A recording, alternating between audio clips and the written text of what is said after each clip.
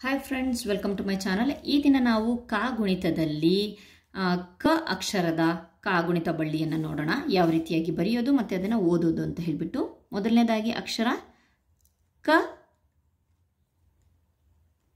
ಅಥವಾ ಕ ತಲೆ ಕಟ್ಟು ಕ ಅಂತ ಹೇಳ್ತಾರಲ್ಲ, ಕ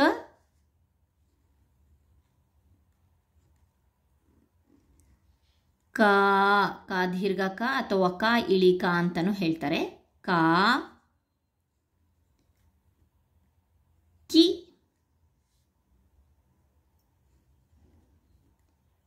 ಕೀ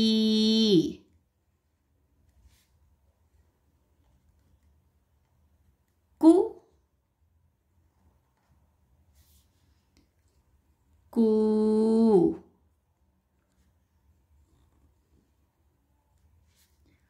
ಕೃ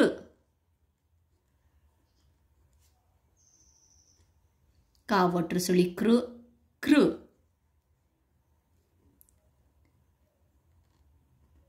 K K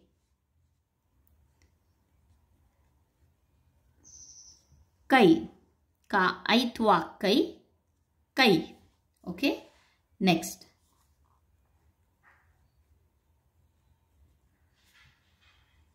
Ko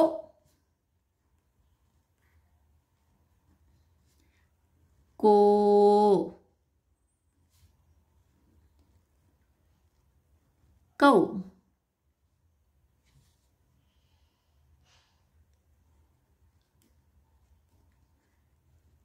ಕಂ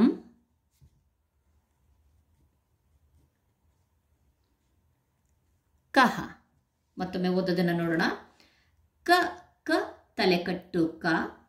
ಕ, ದೀರ್ಘ, ಕ. ಕ, ಗುಡ್ಸು, ಕಿ. ಕ ಗುಡ್ಸುನ್ ದೀರ್ಘ ಕೀ. ಕ, ಕೊಂಬು ಕು ಕೊಂಬಿನ ದೀರ್ಘ ಕೂ, ಕ ಒಟ್ರು ಸುಳಿ ಕೃ, ಕ ಏತ್ವ ಕೆ, ಕ ಏತ್ವನ್ ದೀರ್ಘ ಕೆ, ಕ ಐತ್ವ ಕೈ, ಕ ಓತ್ವ ಕೋ, ಕ ಓತ್ವನ್ ದೀರ್ಘ ಕೋ, ಕ ಔತ್ವ ಕೌ ಕಾಕೊಂದು ಸೊನ್ನೆ ಕಂ ಕಾಕಿ ಎರಡು ಸೊನ್ನೆ ಕಹ. ಸೊ ಈ ಒಂದು ಕಾಗುಣಿತ ಯಾವ ರೀತಿಯಾಗಿ ಬಂದಿದೆ ಅನ್ನೋದು ಸಹ ನಮ್ಮ ನಾನು ನಿಮಗೆ ಒಂದ್ಸಲಿ ಹೇಳ್ಬಿಡ್ತೀನಿ. ಇಲ್ಲಿ ಕ ಅಕ್ಷರದಲ್ಲಿ ಸ್ವರ ಆದಂತಹ ಅ ಅಂತ ಅಂದರೆ ಕ ಎನ್ನುವ ವ್ಯಂಜನಕ್ಕೆ,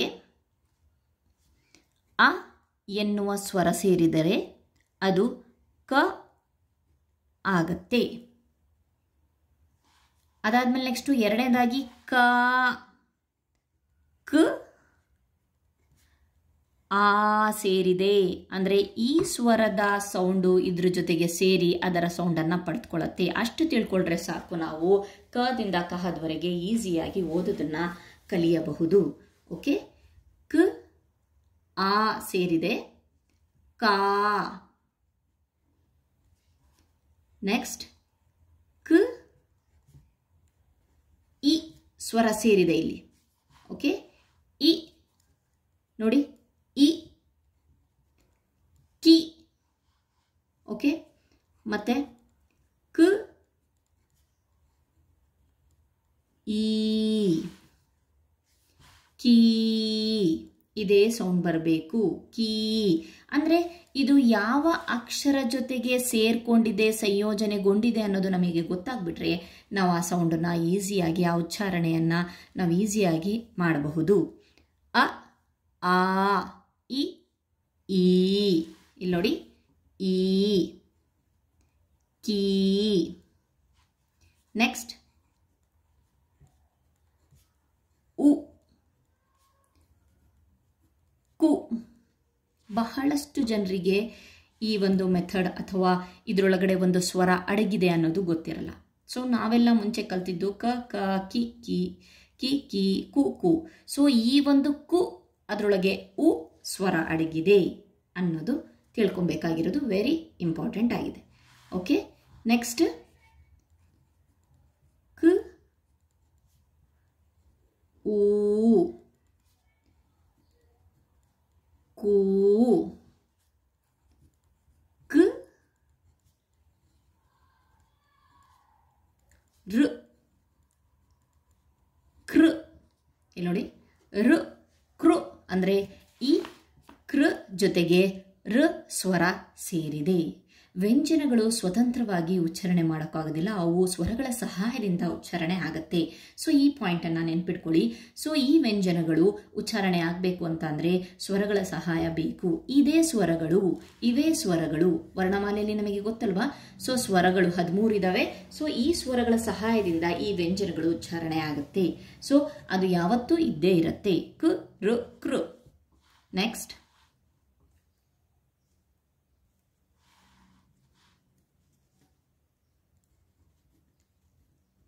ಕ್ ಎ ಕೆ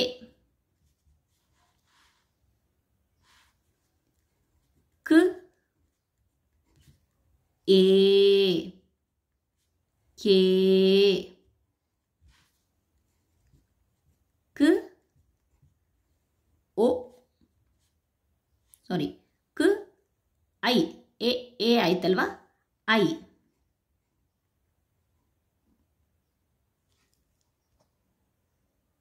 ಈ ಕೈಯನ್ನು ಅಕ್ಷರದಲ್ಲಿ ಐ ಅನ್ನೋ ಸ್ವರ ಅಡಗಿದೆ. ಇಲ್ಲಿ ನೋಡಿ, ಕ ಪ್ಲಸ್ ಐ ಕೈ. ಕ, ಓ, ಕೋ, ಕ, ಓ, ಕೋ. ಕೋ ಕ ಔ ಕೌ ಓಕೆ ಇಲ್ಲಿ ನೋಡಿ, ಕೌ ಅಕ್ಷರ.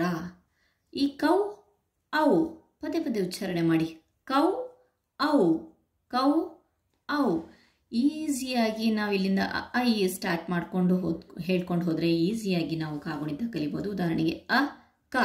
ಆ, ಕ.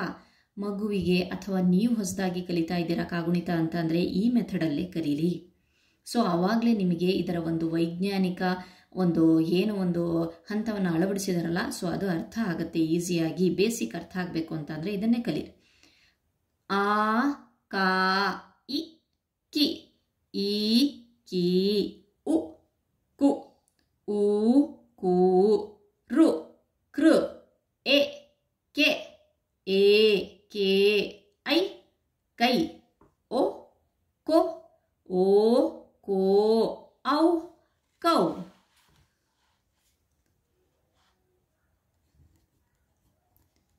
ಕ ಅಂ